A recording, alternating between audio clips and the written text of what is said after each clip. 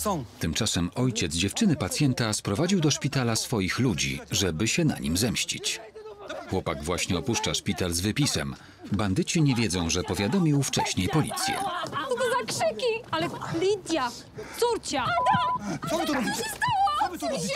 Odejdź! Miałaś ją stąd zabrać. No wyrwała mi się, no co? Adam, Adam, proszę cię. Boże, ale co to, co tu się w ogóle... Kim ty jesteś? Co? Rany boskie, daj spokój. Boże.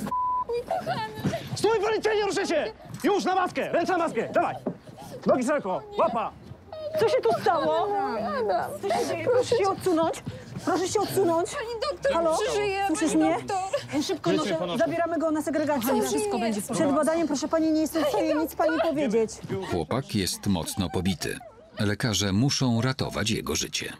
Adam, błagam cię. Halo, słyszysz mnie?